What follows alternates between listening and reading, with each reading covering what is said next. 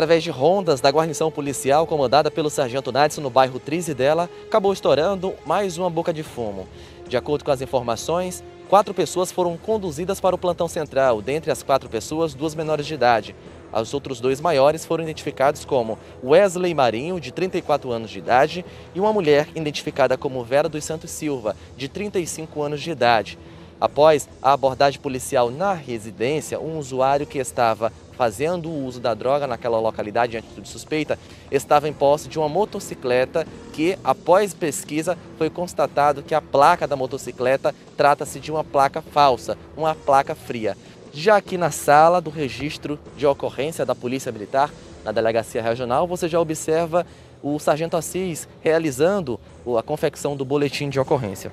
Na mesa está aí em torno uma quantia de R$ 251,55, os aparelhos celulares que foram encontrados dentro da residência, eh, as drogas análogas à maconha e também ao crack, que foram encontrados no momento da interceptação policial. Vale ressaltar que as duas menores de idade que estavam dentro da residência, no momento da abordagem, elas estavam no quintal da casa tentando enterrar a droga que estava na residência. Porém, a Polícia Militar, com toda a sua experiência, conseguiu fazer a interceptação e conseguiu aí estourar mais esta boca de fumo.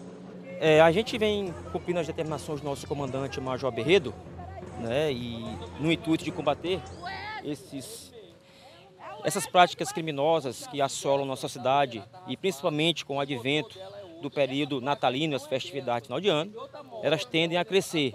É o que os nossos dados gráficos mostram.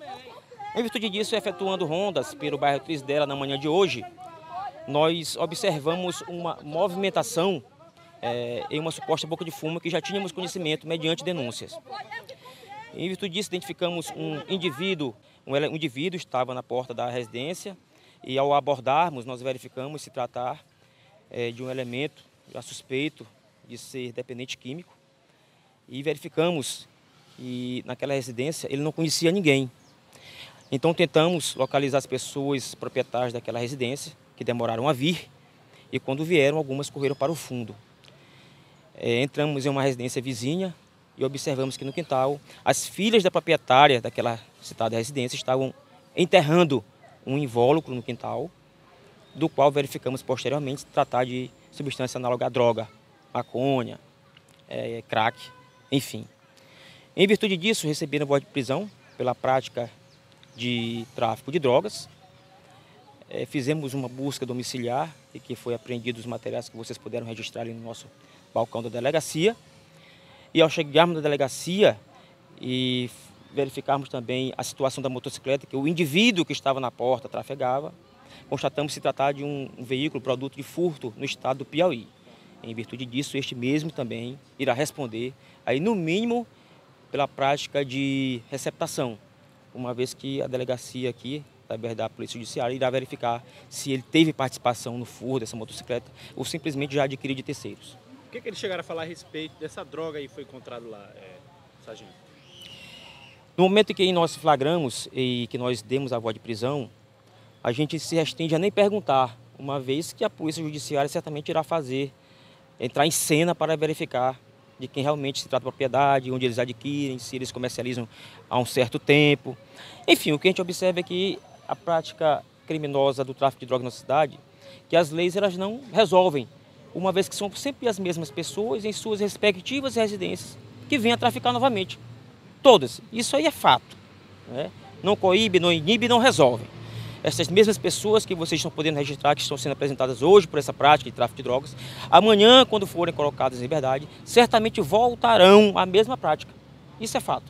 E a gente fica aqui no nosso serviço, enxugando gelo, como todo mundo diz, mas enfim, é o ofício que a gente abraçou, não cabe a gente aí concordar com as leis, apenas fiscalizá-las e fazê-las se cumprir. Sargento, isso mostra a importância das rondas policiais, que através dessas rondas avistaram um homem em atitude suspeita, efetuaram a abordagem e foi estourada esta boca de fumo.